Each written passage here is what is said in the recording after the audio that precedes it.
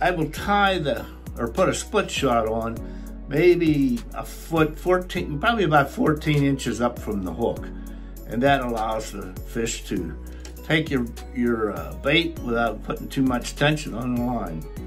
Now, one of the things that I do that uh, is a little bit different from what some people do is I will tie or hang a float on my line.